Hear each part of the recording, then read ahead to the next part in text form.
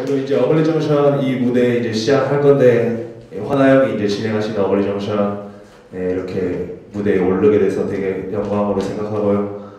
어 저번 이제 공연도 보러 왔었는데 되게 공연장이 음, 되게 아담하고 이쁘고 이래가지고 9월 9월 10일에 이제 제가 하프타임이라는 이제 싱글을 발매를 했는데요. 이제 그 노래가 되게 잔잔한 곡들 로 이루어져 있어서 이제 공연장이랑 되게 잘 어울릴 것 같아서 여기서 이제 좀 서보고 싶었는데 이렇게 불러주셔서 공연을 하게 됐습니다. 그래서 이제 처음으로 할 곡은 내 이야기라는 곡이고 저는 이제 레이보이라는 이름으로 활동을 하고 있지만 어, 장상옥이라는 이제 본명을 가진 한 사람으로서 뭔가 제 저의 이야기를 좀 더 여러분한테 들려드리고 싶어서 이렇게 어, 준비를 했고요. 어, 이렇게 막 되게 박자 타고 이런 노래도 아니고 되게 잔잔한 곡이니까 여러분들 그냥 뭐 다른 거 안 하셔도 되고 그냥 가사에 집중하셔서 재밌게 들어주셨으면 좋겠습니다. 그 첫 번째 곡 내 이야기 시작하겠습니다.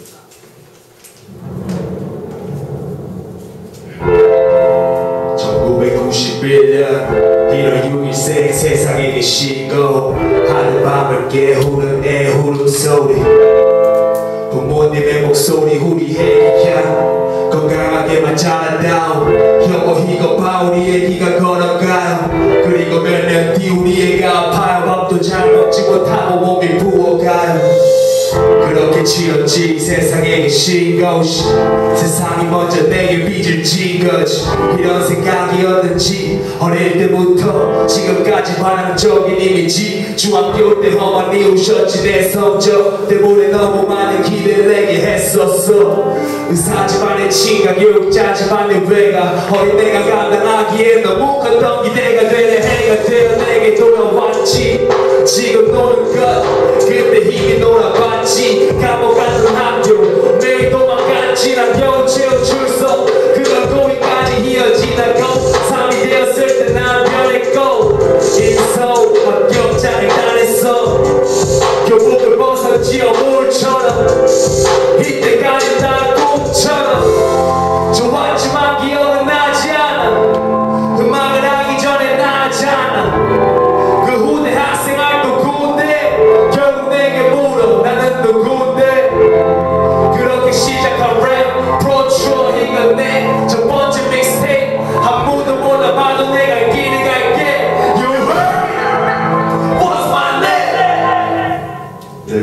제제 이번 나온 싱글의 인트로 내 이야기라는 곡이고요.